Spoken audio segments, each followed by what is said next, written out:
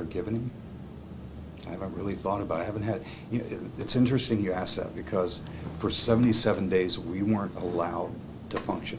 Okay, we've been held in this purgatory uh, by these other families that have been unwilling to talk.